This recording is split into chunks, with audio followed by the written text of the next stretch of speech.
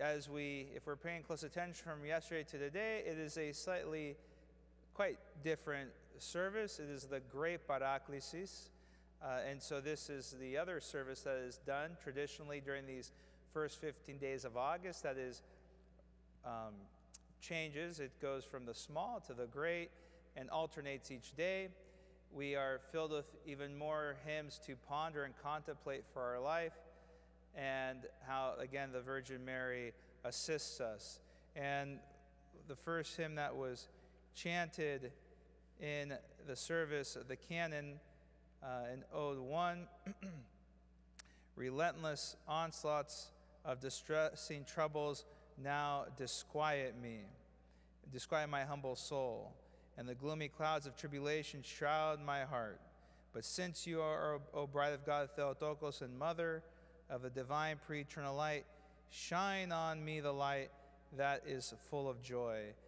And there's many other hymns like that where we hear about and we acknowledge all the, the troubles that we're facing, how it disturbs our soul uh, even to the point of gloomy clouds of tribulation. I mean, those are heavy words. And the church tells us again that we do not sugarcoat the things that we face.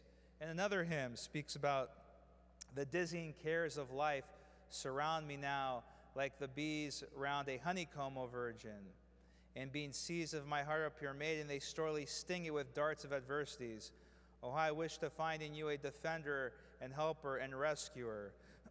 so again, we are told by the church we acknowledge these, these challenges in our life, and yet the church tells us uh, to not despair. And we hear also in today's gospel that is connected to the great Paraklesis, that very well known passage of the sisters Mary and Martha, and how Martha is overcome by anxiousness because she is alone preparing to serve the Master while her sister Mary sits at the feet of the Lord. And it is not Mary the Theotokos, it's the other Mary, the sister, uh, sister of Lazarus.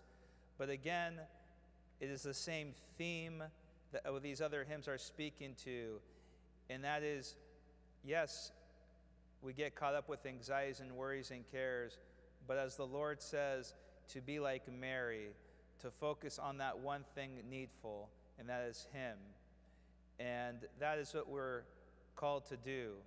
Every day of our life is to focus on the Lord, His mother, to reorient our gaze upon them.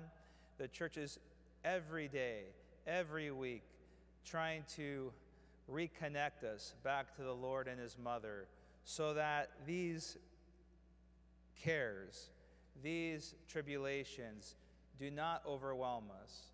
And we are like Peter in that respect, where we take our eyes off the Lord and we start to sink in the water. We start to sink in our despair. So let us, my brothers and sisters, find comfort in these hymns, knowing that the Mother of God is there to be our defender and helper and rescuer, and to keep our focus on her and her Son. God bless you all, and we continue our services to the Holy Theotokos tomorrow evening at 6 o'clock, Thursday morning again at 9, and then Friday morning, again, we have the great feast day of the Transfiguration, Divine Liturgy at 9.30, preceded by the Orthros, and then Friday evening, again, the small Paraklesis at 6 o'clock.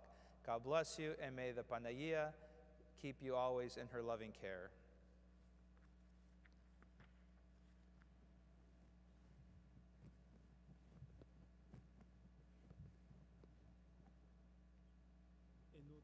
δεησύν με τη αληθεία σου, εισάκουσόν με τη δικαιοσύνη σου και Θεό